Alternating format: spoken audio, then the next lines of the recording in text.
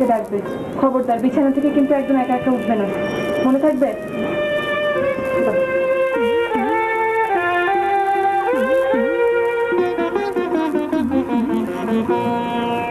তোমাদের সমস্যা মিটলো? না। পরশু ক্লিনিকে গিয়ে আসবে বিদেশ থেকে। তারপর যদি কিছু একটা হয়। তোমাদের ইউনিয়ন কি বলছে? প্রাইভেট ক্লিনিকে আবার ইউনিয়ন। সোনার পাথর বাটে তোমরা এভাবে ছেড়ে দেবে? আন্দোলন করবে না? সবারই চাকরি প্রয়োজন। আন্দোলন কি করবে? তাই বলে মালিকদের এরকম প্রভুসুলভ আচরণ মেনে নেবে? মালিক মানেই তো প্রভু। শোন আমি যাচ্ছি হ্যাঁ? তুমি পান্তুকে ঠিক মতন ওষুধটা খাইয়ে দেবে। আর বুয়া এলে তারপর তুমি বাইরে যাবে। আগে কিন্তু যেও না। পান্থ বাবা আমি আসি। ঠিক মতন থেকো হ্যাঁ? আসি।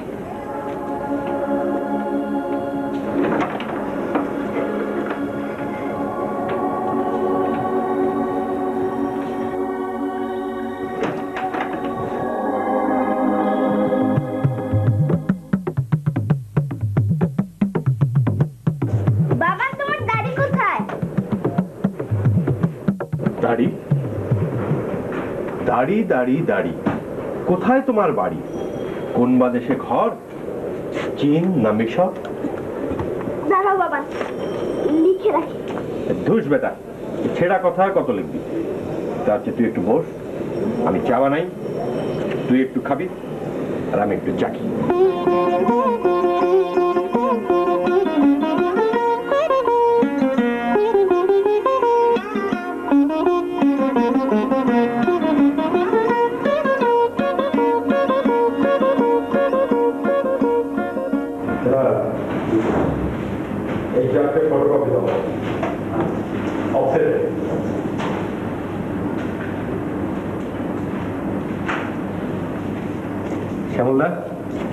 শুনলাম ঢাকা যাচ্ছেন? হ্যাঁ নাইট কোচ তবে বইপাড়ার দিকেও যাব। তোমার কিছু দরকার? আপনি একবার বই সোপানের রাজেশকে বলবেন আমার বই যদি কিছু বিক্রি হয়ে থাকে তাহলে সে যেন কমিশনটা রেখে বাকি টাকাটা দিয়ে দেয়। বছর খানেক ধরে ঘোরাচ্ছে। ঠিক আছে। তবে তোমার নিজের টাকা খরচ করে বই ছাপানো ঠিক হয়নি। আমি আগেই তোমাদের বলেছিলাম। দেখো মার্কেটিং অন্য জিনিস। না। ঠিক তখন রেবেকা এমন গো ধরে বসল যে আর আমার ইচ্ছেটাও একেবারে কম ছিল তা বলা যাবে না। আসলে বাস্তব জ্ঞানে আমি এখনও শিশু।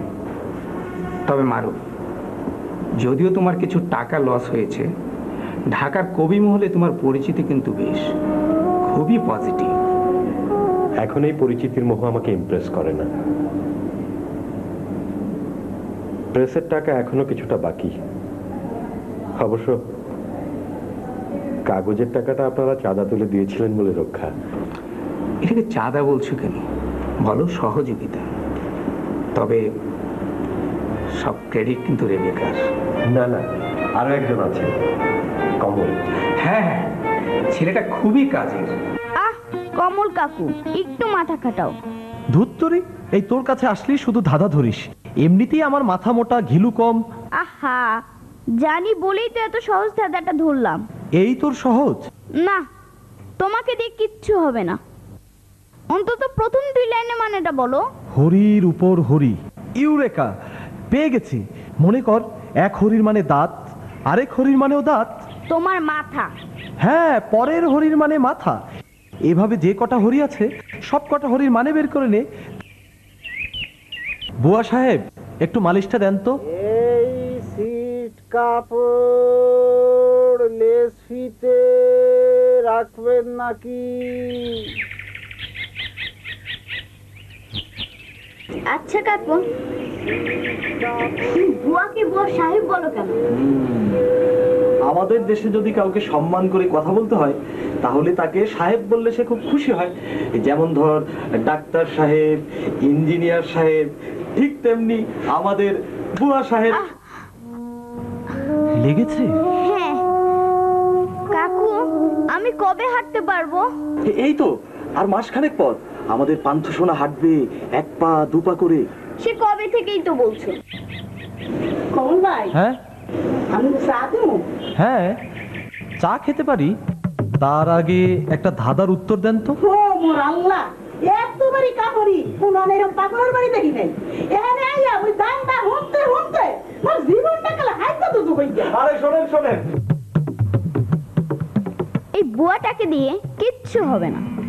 সেদিন এমন একটা সহজ ধাঁধা ধরলাম আর তাই শুনে সে মাকে নালিশ করল আমাদের বাসায় আর কাজই করবে না। আচ্ছা তোর বাবান কখন ফিরবে কিছু বলে গেছে? বাবান ফটোকপির দোকান থেকে পোস্ট অফিসে যাবে। হ্যাঁ জানো আজকে বাবানের চারটা কবিতা পত্রিকায় পাঠাবে। তাই নাকি? হেভি হবে তো। ও বুয়া সাহেব! আমি চলে যাচ্ছি। এই, এই রে। চা বানাইতেছি খাইয়ে যান ও আপনি খান। মারুফ ভাই আসলে বলবেন আমি পাঁচটার দিকে আসব। তুমি যেমন একটা পিচ্ছি পাগল তোমার কাকু রয়েছে একটা পাগল। তাই মানুষটার কলজেরা বড় ভালো। মোরে গোলায় বুয়া সাহেব কইয়া এমন ডাক মোর সদ্য গোষ্ঠীতে কেউ হনে নাই। আমাকে পিচ্ছি পাগল বলবে না। ওরে মোর ডৌয়ারে। ওরে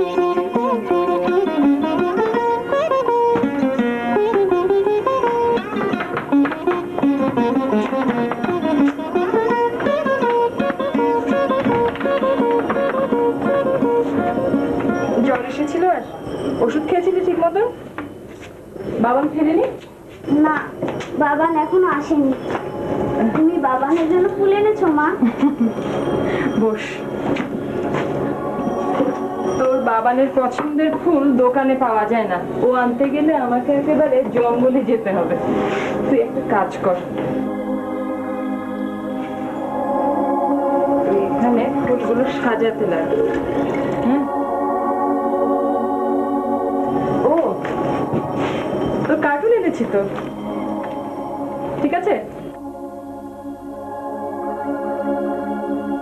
সুন্দর করে সাজাবি। আমি কাপড়টা ছেড়ে আসছি। বুয়া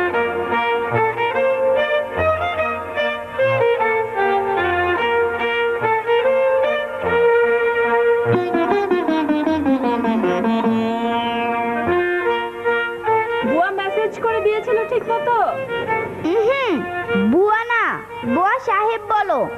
কে? কমল এসেছিল? হ্যাঁ জানো মা কমল কাকু বলেছে আমি আর এক মাসের মধ্যে হাঁটতে পারব। কি মজা তাই না মা?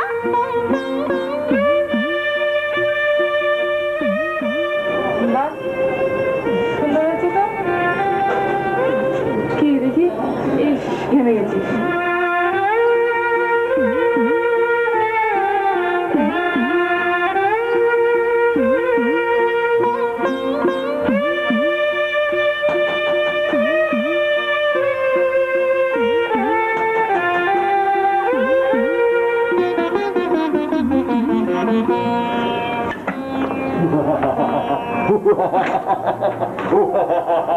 এই যে ছেলে মানুষই করো না দিন দিন কি তোমার বয়স কমছে? আমার বয়স তো কমছে আর তুমি যে দিন দিন? সরো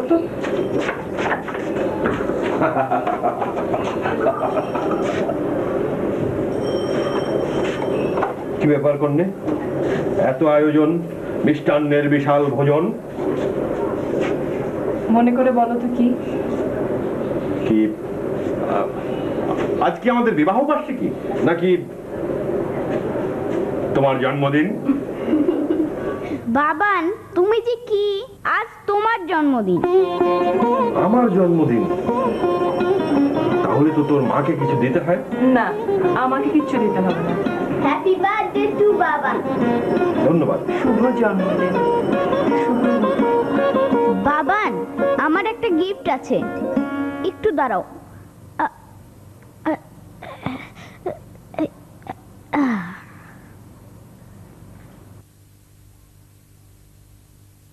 আমার বাবান মস্ত আকাশ। হঠাৎ হাওয়ার সাগর, হালকা চালে দুল কিছুটা, তেজি ঘোড়ার দাপট। আমার বাবান লক্ষ্মী সোনা, বিশ্ব জয়ের মুকুট। আমার বাবান আমার কাছে, আমার প্রাণের সব। এই, তোর বাবান কোথায়? বাবান কমল কাকু। কাকু ওটা কি? এই তোমার ভাই আপনাকে আমি টর্চ জ্বালিয়ে খুঁজছি। দশ মিনিটের মধ্যে যেতে হবে। কোথায়? আরে আপনি চলেন তো। এই পিচ্ছি আসি। কাজের ফিলিংস নেই পড়ার ফিলিংস নেই প্রেমের ফিলিংস নেই মরে। ওরা প্রেমের ফিলিংস নেই মরে। আশা গান বন্ধ বন্ধ না? সারাদিন লেখাপড়া নাই কিচ্ছু না খালি গান গান গান। পড়বার পর সালাম আঙ্কেল ওয়ালাইকুম আসসালাম। বসো বসো বসো। ইনি মারুফ ভাই যার কথা আপনাকে বলেছিলাম। ও আচ্ছা আচ্ছা। দেখেন আমি কবিতা নাটক নভেল কিছু বুঝি না। কমল কলো যে আপনার লেখার হাত নাকি খুব ভালো। ভালো মানে? কি বলছেন আঙ্কেল? ওনার কবিতা পত্রপত্রিকা ছাপা হয়। আচ্ছা। মার্কেটে একটা বইও আছে। বের করেন তো ভাই। না থাক। কবিতা বই দেখ আমি কি করব বাদ দেন শোনেন আমার লবণের নাম হলো বাবুরসি আয়োডিন সল্ট। এই লবণটারে এখন ভালোভাবে প্রচার করতে হবে। এর গুণাগুণ দিয়ে একটা করতে লিখতে হবে। আরে এটা মারুফ ভাইয়ের কাছে কোনো ব্যাপারই না। এই বাবুর্চির সাথে নিকুচি থাকবে না অরুচি এরকম মিল দিয়ে একটা জবরদস্ত কবিতা কাল সকালই পাচ্ছেন আঙ্কেল। আরে তাহলে তো ভালোই হইল লবণের প্যাকেটের গায়ে এই লেখাটা থাকবে না। এই নাও পাঁচশো দিলাম। লেখাটা ভালো হলে আরও পাঁচশো দিবানে ইসে তা একটা কথা। কবিতা লিখে হাজার খানেক টাকা কামানো ভাগ্যের ব্যাপার। হ্যালো শশীন শোনো ওই লবণের প্যাকেটটা এখনই সাথে দিয়ে না আরও দুই চার দিন দেরি করো। আর আমি ওই ব্যাংক হয়ে অফিসে আসতেছি ঠিক আছে? আচ্ছা। তাহলে আজ উঠে আঙ্কেল? আরে বসো একটু চা নাস্তা খেয়ে যাও। একলিমা এবারে একটু চা নাস্তা দিস। না আজ থাক আজ একটু কাজ আছে। আরে এটা কেমন হইল? প্রথম আসলেন আমার বাসায় আর খালি মুখী। আঙ্কেল আবার তো আসব তখন খাওয়া যাবে? এবারও তো ডিসির পুকুরে মাছ ধরা কম্পিটিশন হচ্ছে। নাম দিয়েছেন? হ্যাঁ ডিসি সাহেব আবদালি পাঠায় খবর দিছে। ইয়ে জানেন মারুফ ভাই? গতবার সালাম আঙ্কেল মাছ ধরা ডিস্ট্রিক্ট চ্যাম্পিয়ন হয়েছিল। আঙ্কেল এই মাছের ওজন ছিল যেন কত? চোদ্দ কেজিতে তিনশো গ্রাম কম। দেড় ঘণ্টা লাগিয়েছিল মাস্টারে টাইনে তুলতি। তা কমর ডিসির পুকুরে তো ছয় সাত কেজির উপরে মাছ নাই। আরে মাছ খেলায় না তুলতে পারলে কি আনন্দ লাগে নাকি? হ্যাঁ তো আপনার কি মাছ ধরার অভ্যেস আছে নাকি? জি না। তাহলে আজ উঠি আঙ্কেল, আপনার নতুন হুইলগুলো একদিন দেখতে আসব। মারুফ ভাইয়ের একটু কাজ আছে। আরে কমল ওই মাগরে যাব মাছ ধরতে। যাবা নাকি? ওরে বাবা আপনার গাড়ি ঠেলতে পারব না। এখনও তোমাকে সেই কথা মনে আছে। আচ্ছা ঠিক আছে যাও। আল্লাহ হাফেজ।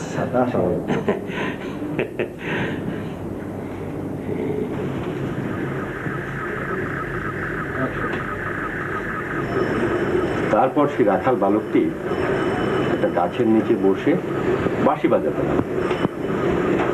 বাঁশি বাজাতে বাজাতে খোলা মাঠের প্রবল বাতাসে একসময় সে ঘুমিয়ে পড়ল। আর তখন পাতার ফাঁক দিয়ে এক টুকরো রোদ এসে পড়ল তার মুখে। ছেলেটি তো আর ঘুমোতে পারে না। মাথাটা একবার এদিকে ঘোরায়, আবার ওদিকে ঘোরায়। রাখাল বালকের এই কষ্ট দেখে একটা রাজহাঁসের খুব মায়া হলো। রাজহাঁস তখন উড়ে যে ওই গাছটার উপরে বসল। তারপর কি করল জানি ইয়া বড় দুই ডানা মেলে রোদটাকে ঢেকে দিল। রাখাল বালক নিশ্চিন্তে ঘুমাতে থাকল।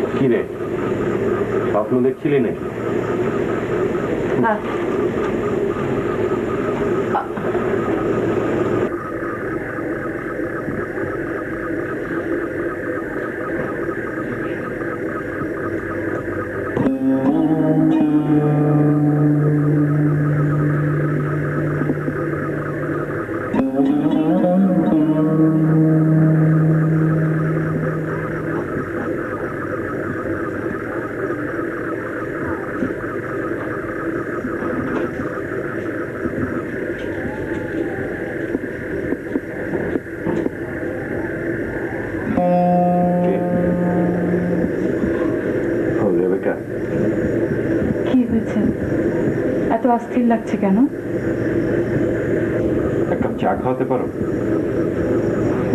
এত রাতে? থাক।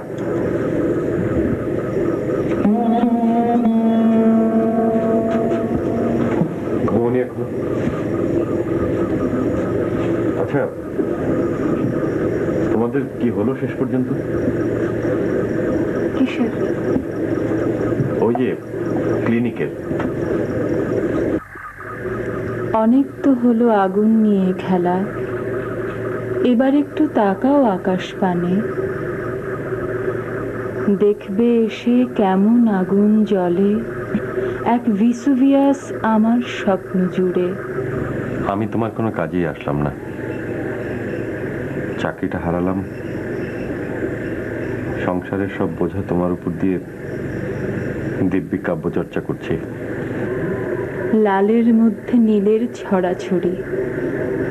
রং সে তো নয় আগুনের ফুলঝুরি। কি হলো? উত্তর দেবে না? দিচ্ছি তো। তোমার আত্মোপলব্ধি হয়েছে দেখে ভালো লাগছে।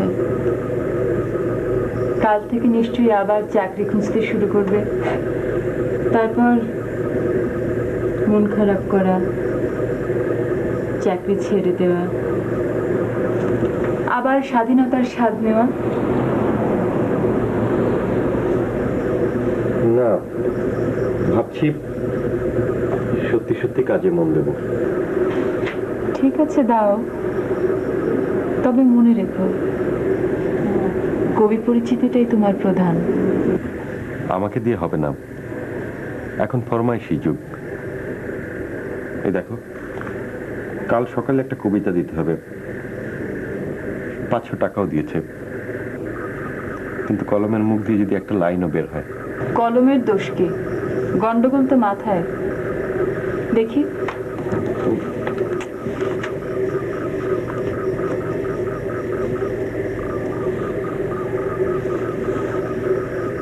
এক চিমটে নুন, একটি হলুদ পাখি আমার স্বপ্ন এরই মাঝে খাবি খাচ্ছে রোজি। শুধু নুন হলেই হবে না তার গুণগানও থাকতে হবে। সত্যি যা পারি না তা নিয়ে কসরত করা খুবই কষ্টকর। এভাবে কষ্ট পেতে পেতে পাললিক পাথর হবে মন। তারপর শত আঁচড়েও পড়বে না দাগ। মসৃণ পাথর বাতাসের খসায় আরও তৈলাক্ত হবে। এক সময় ভূকম্পে সেও প্রকৃতির নিয়মে শূন্য থেকে লাফিয়ে নামবে নিচে। মহাশূন্য গহ্বরে। মাতৃভাষা ফাউন্ডেশনের জন্য লেখা তৈরি করেছ? তা প্রায় শেষের পথে। নাম কি দিলে? শেষ বিকেলের আলো। আমার বিশ্বাস। দেখো এবার তোমার যোগ্যতার মূল্যায়ন হবে। তোমার তাই মনে হয়? আমার শুধু একটাই চিন্তা। কিছু টাকা জোগাড় করতে পারলে পান্থর চিকিৎসাটা ভালো মতো করতে পারতাম। জ্বরটা ছাড়ছে না একেবারেই। দেখি কাল একবার ডাক্তার স্যারের কাছে নিয়ে যাব। দিনকে দিন ওর শরীরের জোরটা কমে যাচ্ছে।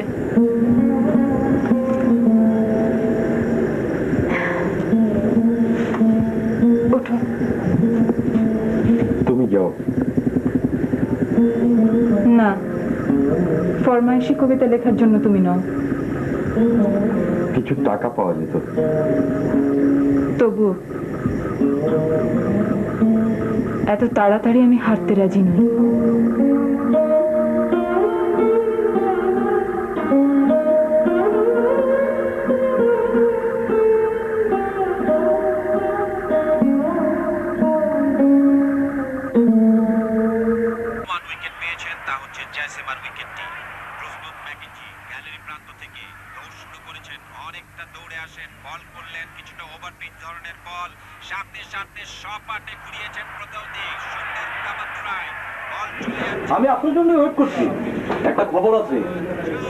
আঙ্কেলের কাছ থেকে আরও হাজার খানেক টাকা আদায় করা যাবে।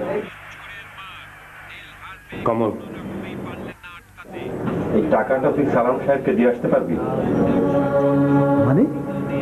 আপনি কবিতা লেখেননি? না। এর বেশি আর কিছু বলতে পারব না তোকে।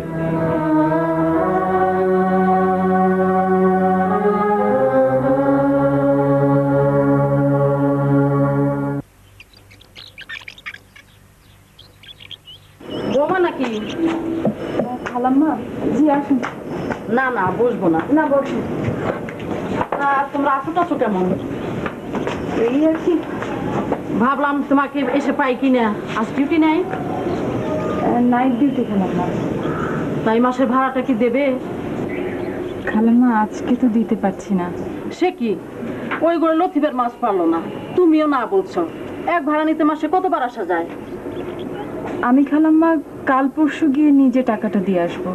সেই ভালো। তা পান্থর বা করে টরে কি? মেয়ে মানুষ হয়ে তুমি রাত বিরাতে চাকরি করে বেড়াচ্ছ। আপনি খালাম্মা ভেতরে এসে বসেন একটু চা করি। না না চা খাব না। তা তোমার ছেলের পাটা কি ঠিক হবে না? ডাক্তার তো দেখাচ্ছি। হ্যাঁ দেখাও। ভালো হলেই ভালো। তা টাকাটা মনে করে দিয়ে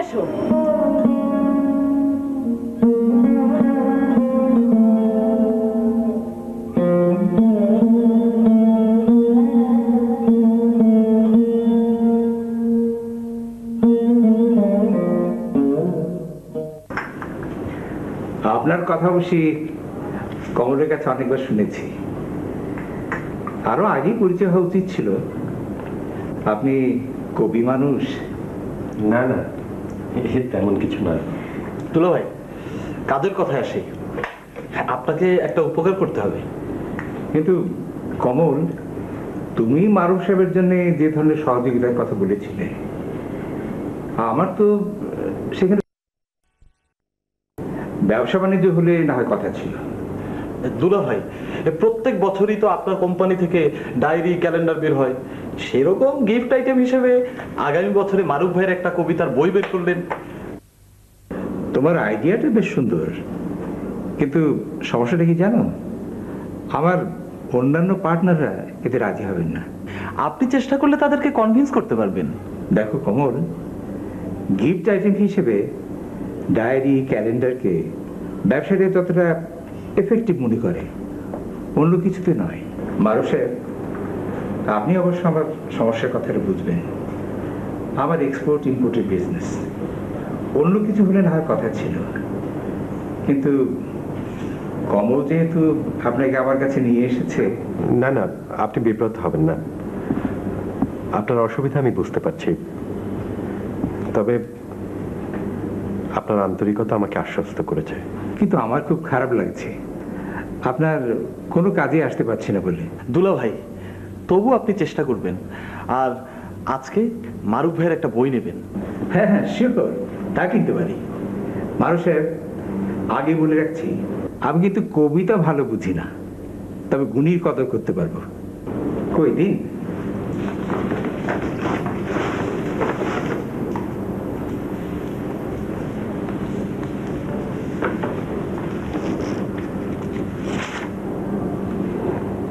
এতে একটা অটোগ্রাফ দিয়ে দিন প্লিজ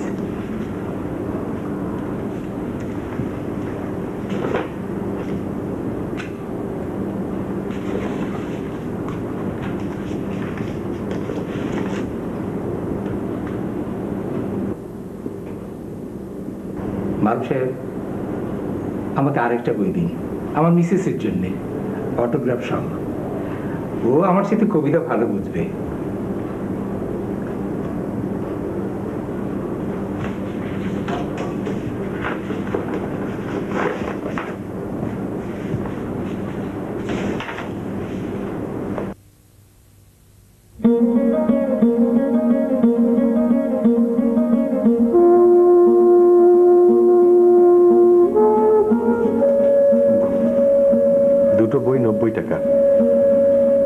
একসঙ্গে দুটো কিনছেন তাই দশ টাকা কনসেশন আশি টাকা।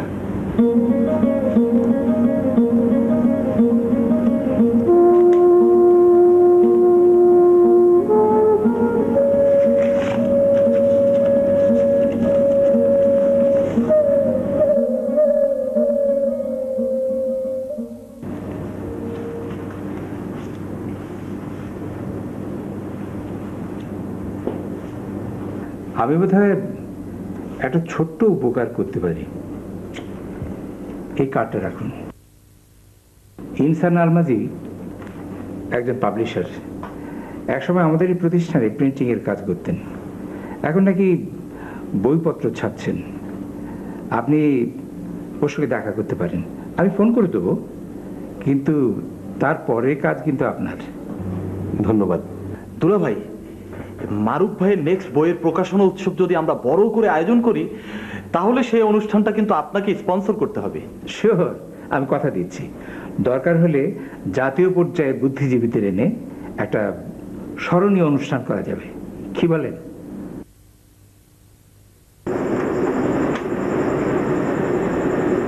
শরীফ সাহেব সত্যি একজন ভদ্রলোক। কি করে বুঝলে? দুটো বই কিনেছেন বলে? না তা না। ভদ্রলোক যে আমাকে সত্যি উপকার করতে চাইছেন কিন্তু পাচ্ছেন না। এটা বোঝা যায়। তবে যাই বলো কমল খুব চেষ্টা করছে তোমার জন্য। ও তো একটা পাগল। আমার একটা কবিতাও হয়তো পড়েনি কিন্তু ওর উৎসাহ দেখলে বোঝা যায় না।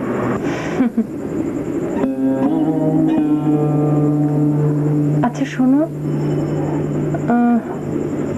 পোস্ট অফিসের টাকাগুলো তুলে ফেলি। এ মাসের বাড়ি ভাড়াটাও বাকি পড়ল আর তাছাড়া তোমার প্রেসের পাওনা টাকাটাও তো দিতে হবে নাকি? তোমার সঙ্গে রব্বানি ভাইয়ের দেখা হয়েছিল? আজকে ক্লিনিকে এসেছিলেন বললেন টাকার খুব প্রয়োজন। তাছাড়া অনেকদিন তো হয়ে গেল। দেখি কি করা যায়। কি বললাম না? শরীফ সাহেব একজন প্রকাশকের ঠিকানা দিয়েছেন। কাল ওনার সঙ্গে দেখা করব। তা তুমি করো। এদিকে পান্থর সিটি স্ক্যান করাতে হবে ওষুধপত্র আছে। আর ডাক্তার স্যার বলছিলেন ওর রোগটা দিন দিন জটিল হয়ে পড়ছে। তাহলে তুমি সব টাকা তুলো না। আছে তো আট ন হাজারের মতো? পাঁচ হাজারের মতো রব্বানি ভাইকে দিয়ে দিতে পারলে আপাতত দায়মুক্ত তো হওয়া যায়।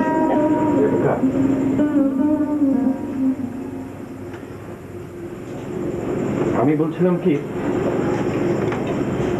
টাকাটা এখন না দিলেও চলবে।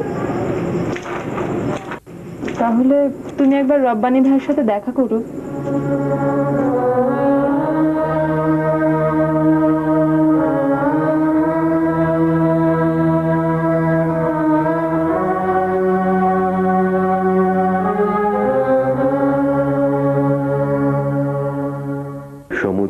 খোঁজে দ্বিধাহীন বুক, আর্তেরা খোঁজে প্রিয়তম মুখ, বাতাস খোঁজে অবারিত মাঠ, ক্ষুধার্ত খোঁজে ফ্যান রুটি ভাত। আমি খুঁজি চৈত্রের পাখা, অরূপ কান্তি পুষ্পিত শাখা, সংগ্রাম খোঁজে মুক্তির পথ, কাপুরুষ খোঁজে গোপন বাসর, অন্ধেরা খোঁজে দৃষ্টিশক্তি, বন্দিরা খোঁজে চিরায়ু মুক্তি। আর আমি খুঁজে ফিরি প্রেম অক্ষয়, মানুষের কাছে মানুষের জয়। বাহ বাহ, চমৎকার হ্যাঁ? দেখুন, এই বত্রিশ বছর রয়েছে আমি এই লাইনে। চুল সব আমার পেকে গেছে কলম লাগিয়েছি। হ্যাঁ? এই দুহাত দিয়ে অনেক পাণ্ডুলিপি এনেছি, অনেক বই ছেড়েছি কিন্তু এরকম পদ্য অনেক দিন শুনি বাহ বাহ অবশ্য শরীফ সাহেব বলেছেন পত্রপত্রিকা অনেকে আপনার লেখা ছাপা হয়। তা আপনার প্রথম বই কোনটা? তা এটাই তো আপনার প্রথম কাব্যগ্রন্থ না? জি।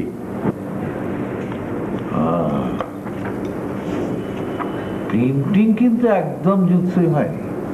কি জানেন তো? ওই মোরকে যদি জেল না থাকে তাহলে চলে না। ভেতরে যতই ভালো মাল ঠাসুন না কেন কেউ কোড়ে অ্যাঙ্গেল দিয়েও ছুঁয়ে দেখবে না। জানেন তো? পয়লা দর্শনধারী তারপর গুণ বিচারী না মানে বইটা ছাপাবার সময় টাকার অসুবিধা ছিল। আর তাছাড়া আইডিয়াও ছিল না। সব মিলিয়ে আরে না না ওসব নিয়ে আপনি ভাববেন না। শরীফ সাহেব আমাকে সব কিছু বলেছেন। এক সময় তার সব প্রিন্টিং কাজ তো আমার এখানেই হতো। তবে আপনার লেখার হাত কিন্তু চমৎকার। মারু সাহেব কিছু মনে করবেন না একটা কথা জিজ্ঞাসা করি? জি বলুন। পড়ালেখা কতদূর করেছেন? মানে স্কুল কলেজ? বাংলায় মাস্টার্স হ্যাঁ? রাজশাহী থেকে। বাহ বাহ মাস্টার্স করে ফেলেছেন। বাহ তো ঠিক আছে আপনার এই পাণ্ডুলিপিটা রেখে যান। আমি দেখব যে আপনার পদ্য বাজারের সাথে কতটুকু খাপ খায়। এখন কি করবেন বলে পাচ্ছেন তেমন কিছু চিন্তা করিনি। না না এই বই বের করতেও তো কিছুদিন সময় লাগবে। এই ফাঁকে কি করবেন বলে ভাবছেন? জানি না। তাহলে এক কাজ করুন ওই ইন্টারমিডিয়েট লেভেলে বাংলায় একটা গাইড বই লিখে ফেলুন না। গাইড বই? আমি কখনো আগে আরে মশাই আগে কখনো করেননি বলে করতে পারবেন না এটা কোনো কথা হলো হ্যাঁ? তেনজিং হিলারি কি আগে হিমালয় চড়েছিল? চড়েনি। তাই বলে তাদের কোনো অসুবিধা হয়েছে? দিব্যি তারা ফটাফট। না মানে বিষয়টার উপর একটা মিনিমাম আইডিয়া তো থাকা দরকার। ও আইডিয়া টাইম টু টাইম আমি আপনাকে সাপ্লাই দেবো হ্যাঁ? কতগুলো গাইড বইয়ের নমুনা আপনাকে এখনই দিয়ে দিচ্ছি ওগুলো উল্টো পাল্টো দেখলে আপনি বুঝে যাবেন। কিছু নগদ টাকা কামাইও হলো। বসেই যখন আছেন না টাকাটা তো আর বড় কথা নয়। আরে না না টাকা পয়সা কোনো বিষয় নয়। ধরে নিন এটা হচ্ছে আপনার দ্বিতীয় কাব্যগ্রন্থ ছাপাবার জামানত। হ্যাঁ নিয়ে আপনি আহ, ভাববেন না। কই খোকা? ওই ইন্টারমিডিয়েটের বাংলার কিছু গাইড বই দিয়ে যাস। সেই সাথে সিলেবাস আর টেক্সট বুকও দিয়ে যাবে। ইনসান সাহেব আমাকে কিছু সময় দিতে হবে। আরে মাসে কত সময় দরকার? এক সপ্তাহ দু সপ্তাহ না মানে কিছুই তো বুঝতে পারছি না। আরে ভাই লেখাটা শুরু করুন না। দেখবেন তিন দিনেই ঝেটা ঝাট বেরিয়ে যাচ্ছে। মানিককে মানিক চেনে হ্যাঁ? চা খাবেন নাকি? চা? না ঠিক আছে। হ্যাঁ নিন নিন। আমি তাহলে আর চলি। শরীফ সাহেবকে আমার সালাম দেবেন। জি সালামালাইকুম হ্যাঁ, ওয়ালাইকুম আসসালাম।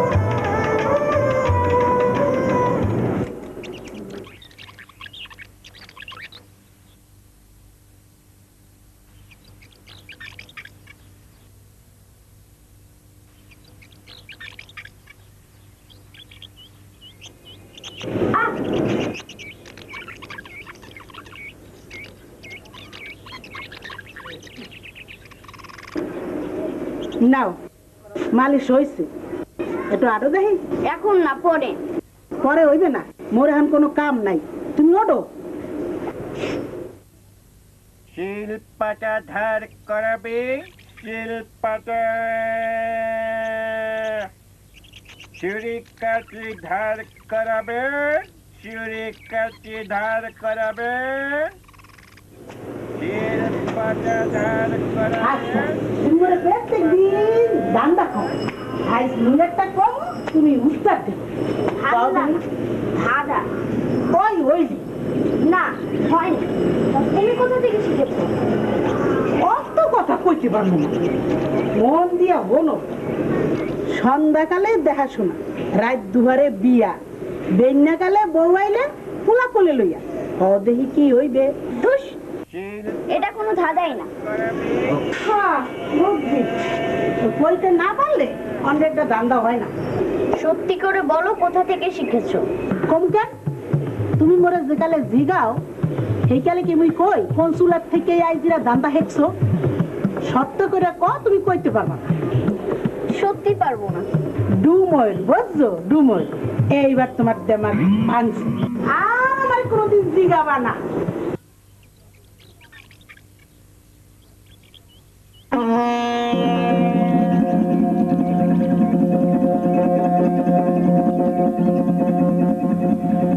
আচ্ছা মা বলো তো এই সন্ধ্যা বেলা দেখাশোনা রাত দুপুরে বিয়া। কি?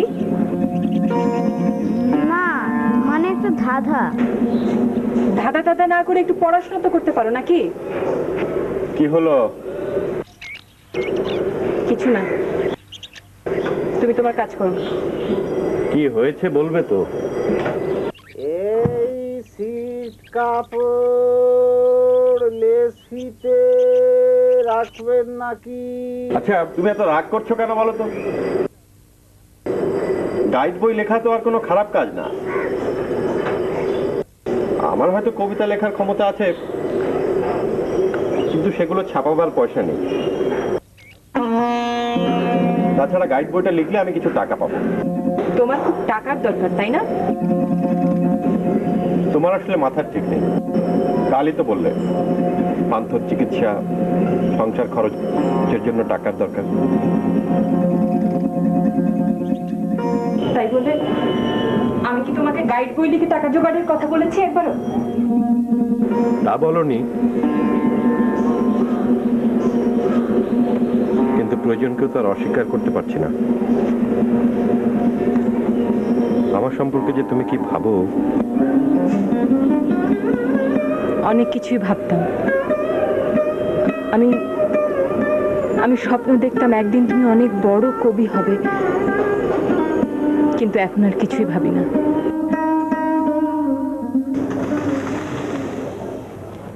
মা ইস্ত্রি অনেক গরম হয়ে গিয়েছে।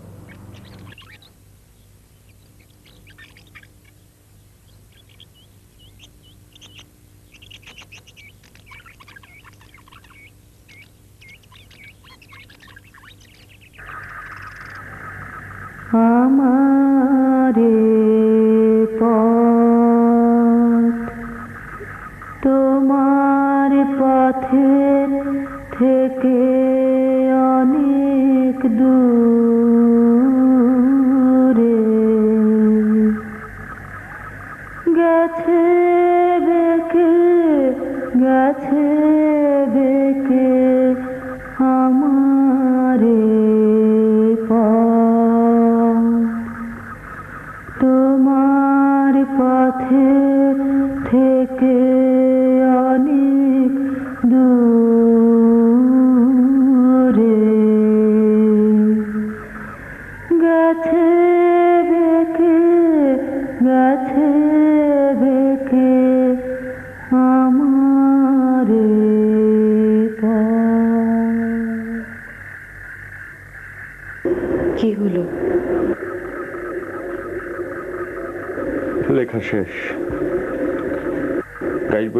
সকালে জমা দিতে যাব।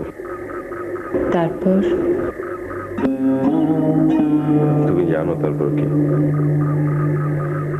আমার স্বপ্ন আকাশ ছবে তারার গায়ে লিখে দেবে ভালোবাসার নাম। তুমি খুশি রেবেকা এবার ভাবছি কবিতার বইয়ের কাগজগুলো ভালো দেবো। প্রতিটা পাতায় একটা করে স্কেচ থাকলে কেমন হয়? আইডিয়াগুলো সব মাথার মধ্যে করছে। আচ্ছা বলো তো এবারের বইটা কাকে উৎসর্গ করা যায়? তুমি কার কথা ভেবেছো? প্রথমটা তো তোমাকে করলাম। এবার একটা পান্থকে দিই। কমলকেও রেখো কিন্তু সঙ্গে। কমল? ও কবিতার কি বোঝে? পান্থ কি অনেক বুঝে? তা নয়। আশ্চর্য। কমলের নামটা একবার মনে আসেনি। অথচ কমল আমাকে সত্যি ভালোবাসে। খুব স্বার্থপর হয়ে যাচ্ছে।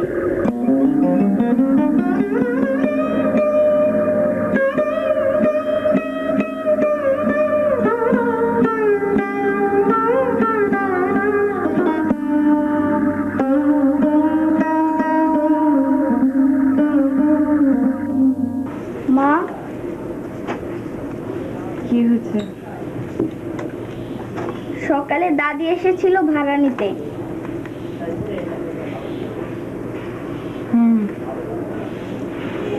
মা এই বাড়িটা যদি আমাদের হতো তাহলে আর ভাড়া দিতে হতো না। মা আমার পা ভালো হলে আমাকে একটা সাইকেল কিনে দেবে? রঞ্জন ভাইয়ের মতো?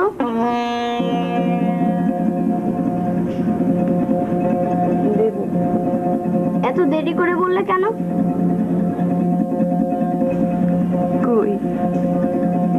জানো মা বাবান বলেছে মনে জোর থাকলে পা না থাকলেও পাহাড়ে উঠা যায়। হ্যাঁ বাবা যায় তাহলে তুমি চিন্তা করো না মা।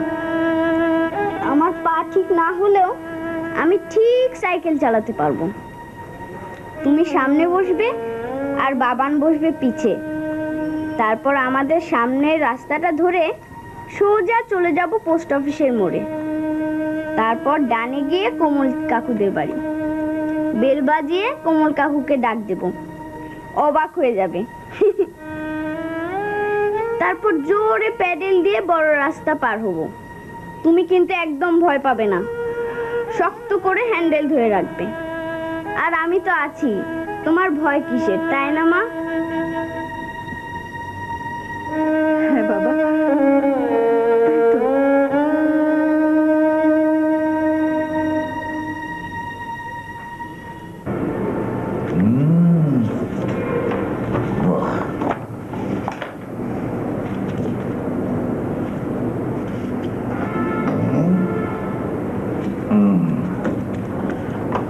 বাহ। আরে মাসে ধরুন না এখানে পাঁচ হাজার টাকা আছে ধরুন। ধরুন। আপনাকে বলেছিলাম না যে গাইড বই লিখতে সময় লাগে না। আপনি তো তখন ঘাবড়েই গিয়েছিলেন হ্যাঁ? আপনাকে দিয়ে বছরে পাঁচ ছখানা গাইড বই যদি লেখাতে পারি তাহলে আর ভাবতে হবে না। কেল্লা ফতে ইনসান সাহেব আমার কবিতাগুলো দেখেছেন? ও পদ্য? হ্যাঁ তা একটু উল্টে পাল্টে দেখেছি। তো যে কথা বলছিলাম এবার আমরা একটা বড় কাজ হাতে পেয়েছি বুঝলেন? ক্লাস সেভেনের ভূগোল এবং পৌরনীতির গাইড বুক আমি আর গাইড বই লিখতে পারব না। প্লিজ এই যে মশাই এত তাড়াতাড়ি সিদ্ধান্ত নিতে যাচ্ছেন কেন? আমার কবিতাগুলোর কি হলো? নিন নিন চা খান। বলছি কি হয় জানেন তো?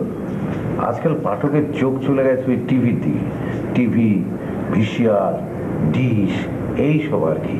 আরও কত কি যে দেখব? বইটা কেউ আর পড়তে যায় না। ব্যবসা তো কম দিন ধরে করছি না। কিন্তু এখনকার মতো বদ সময় আর কখনো দেখিনি। আল্লাহ না করুক। মানে বইটা ছাপানো যাবে না? ওই আপনি দেখছি আবার চূড়ান্ত রায় দিয়ে দিচ্ছেন হ্যাঁ? শুনুন হালকার পলকা বোঝেন মানে? মানে হচ্ছে হাওয়াই মিঠাই গালি দিলে চুপসে ভ্যানিস খেতে খুব মজা লাগে কিন্তু পেট ভরে না। এখনকার কবিতা হবে ওই রকম মুখরোচক চাট মশলা টাইপ লাইক ঘুগনি। মানুষের পকেট থেকে পয়সা খসাবেন অথচ একটু রস ছিটুবেন না তা তো হয় না। আমি ঠিক বুঝতে পারছি না। বুঝতে পারছেন না? আপনার প্রথম বই সেদিন যেটা দেখিয়েছিলেন কি যেন নাম কি যেন নাম। আচ্ছা বলুন তো এটা ক কপি বিক্রি হয়েছিল? বেশি না। এই যে দেখুন বই না হয় চেপেও দিলাম। তারপর গাটের পয়সা খরচ করে মানুষের বাড়ি বাড়ি গিয়ে দিয়েও এলেন। তারপর এ বই কেউ রাখবে না। কেন? কাম টু দ্য পয়েন্ট এক আপনার কবিতাগুলো হালকা নয় সিরিয়াস দুই আপনি মফস্বলের কবি। আপনার কোনো ফেস ভ্যালু নেই। তিন বাজারে আপনার কোনো পরিচিতি নেই। এমনকি আপনার নামে কোনো স্ক্যান্ডেলও নেই। চার মিডিয়ার কোনো সাহায্য আপনি পাবেন না। কারণ আপনার কাছে এটা নেই। কাজেই আপনার বই কেউ করি আঙ্গুল দিয়ে ধরেও দেখবে না, মাঝখান থেকে আমার প্রেসে লাল বাতি জ্বলবে। কিছু বুঝলেন? হ্যাঁ বুঝলাম। এই কথাগুলো আগে বললে ভালো হতো। চলি।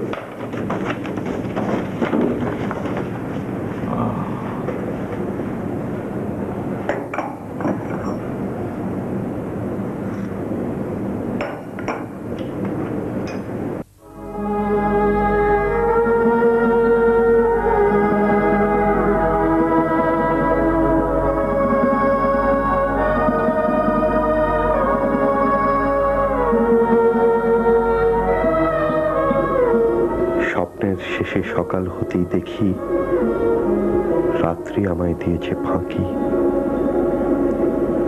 দেখেছি আমি রাতে অতুল প্রতুল ছন্দ। দেখি প্রভাতে সূর্য মেঘের দ্বন্দ্ব। শান্তি বনের পুষ্প বৃক্ষ ছায়ে। ভ্রমণ করেছি ফাগুন বায়। স্বপ্ন দিল সজ্জার রাত। স্বপ্ন যেতেই পেয়েছি দুঃখের প্রাত। বাস্তব যদি এতই কঠিন হবে, স্বপ্ন এমন সুন্দর কেন তবে? জীবনে স্বপ্নেতে ব্যবধান, জীবন স্বপ্নেতে করে স্নান।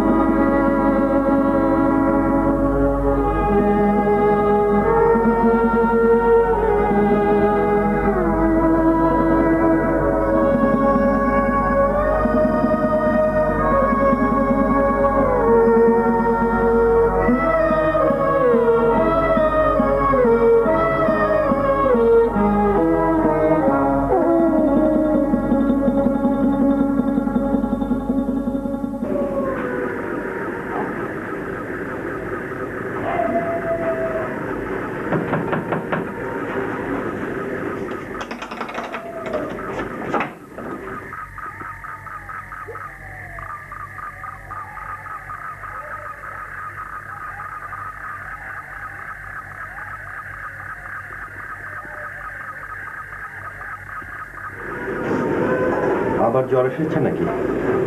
কত।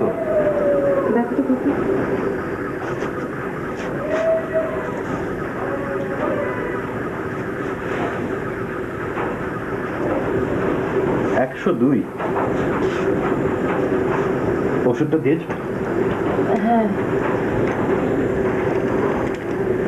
বাবান তোমার বইয়ের কি হলো বইতে আমার আর কোমল কাকুর নাম থাকবে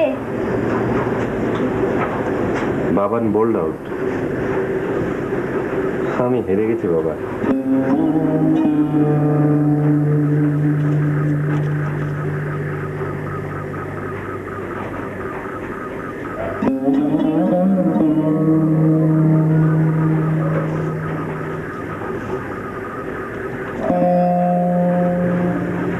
মা বাবানকে বলব না তুমি লক্ষ্মী হয়ে ঘুমো আজ আর বাবানকে বিরক্ত করো না, বাবা।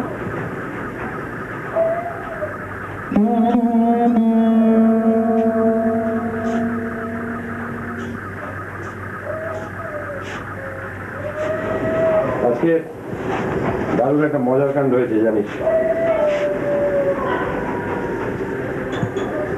তুমি ঠিক। গাইড বই লেখা আমার কাজ না ইনসান সাহেব। চিজ একটা। আমার স্বপ্নের ভূমি থেকে নিড়ানি দিয়ে কবিতার চারাগুলো সব উপরে ফেলেছে। সেখানে আর কোনো শিকড় পাওয়া যাবে না।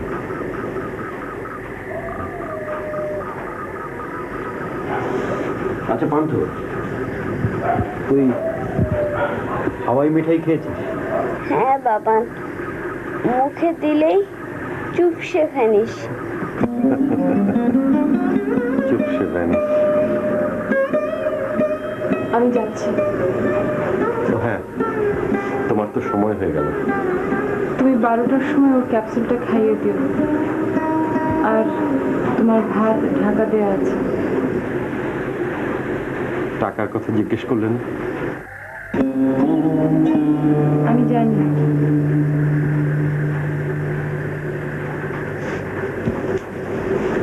পান্থ? থেকে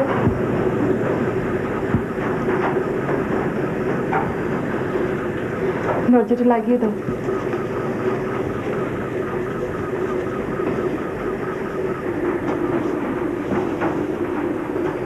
শোনো, তোমার ভুল সিদ্ধান্তগুলো বারবার তোমাকে ক্ষতিগ্রস্ত করছে। আমি তো তোমাকে বলেছি, আমি সংসারটা দেখতে পারব। তুমি শুধু মন দিয়ে লিখে যাও। আমার দৃঢ় বিশ্বাস। একদিন তোমার মাথা আকাশ ছুঁবে। এ তোমার স্বপ্ন রেবেকা। স্বপ্ন দেখতে যে আমি ভালোবাসি। তোমার একটা চিঠি এসছে টেবিলের ওপর। কিসের চিঠি? স্বীকৃতির। এবার আমার ভালোবাসার মানুষটাকে আর কেউ হারাতে পারবে না।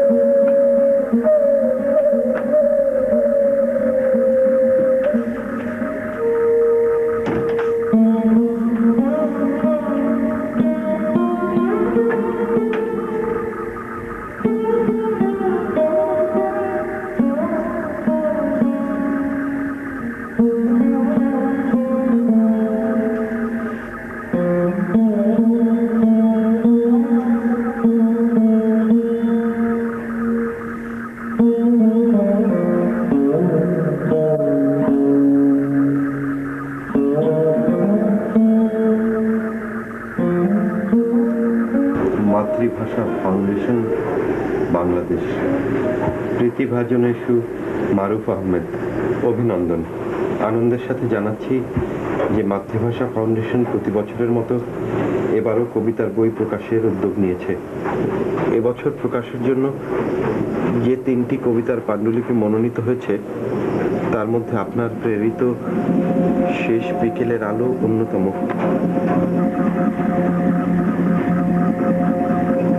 সার্বিক বিবেচনায় আমাদের সম্মানিত বিচারক মণ্ডলী, বাংলাদেশ থেকে কেবলমাত্র আপনার পাণ্ডুলিপিটিকেই আন্তর্জাতিক পরিসরে উপস্থাপন করার বিষয়ে সুপারিশ করেছে।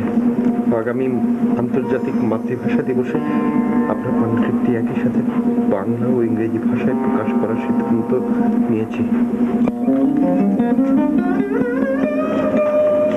বাবা মাকে আমি প্রথম আনন্দে নাচতে দেখলাম। বাবান তুমি কাঁদছো?